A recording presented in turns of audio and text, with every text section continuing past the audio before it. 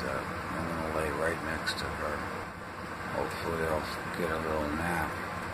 I did not sleep one wink. Again, last night.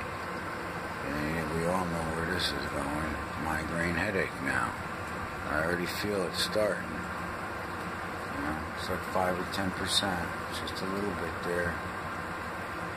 And I gotta get comfortable and get some rest, otherwise it's gonna be back to the hospital and the ambulance and tubes all coming out of me again. What the fuck? I just gotta stop. What happened? I smudged this. How's that? Okay. This is Patches. And I'm gonna end the video.